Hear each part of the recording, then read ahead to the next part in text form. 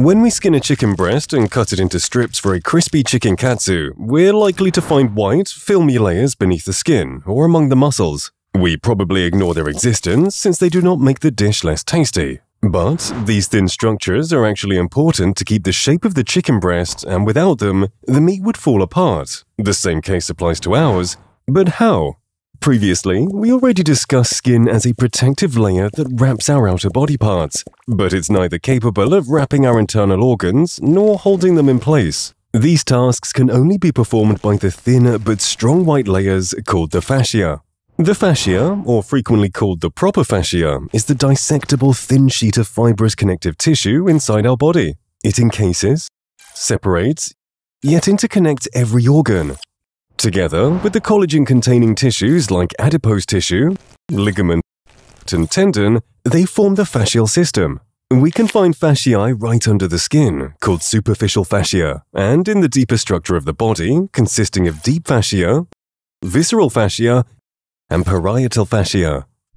Superficial fascia is a fibrous layer in the middle of hypodermis consisting of loosely interwoven collagen fibers and lots of elastic fibers sandwiched between superficial adipose tissue, or SAT, and deep adipose tissue, known as DAT. SAT and DAT are sometimes considered as fibrofatty components of fascia, and they act as fat reservoirs. The fibrous septa, known as retinacular cutis crossing them, extend from the retaining ligament that holds the skin layers and muscles together and attaches them to the bone.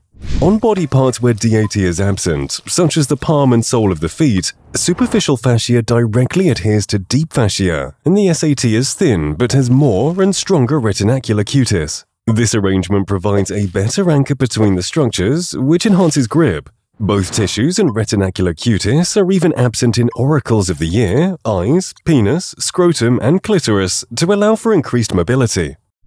Superficial fascia provides passage for cutaneous nerves and vessels, thus helps in thermoregulation, exteroception, and pain reception. It helps support these subcutaneous structures and provide a smooth gliding between skin and muscle. The thickness of superficial fascia varies depending on the body region and gender. It's thicker on the posterior of the body rather than the anterior, and in the lower extremities rather than the upper one. In the next video, we will delve into the deeper world of fascia in deeper structures, so stay tuned. Thank you for your continuous support, especially our valued patrons and members who have been encouraging us to keep producing more quality content.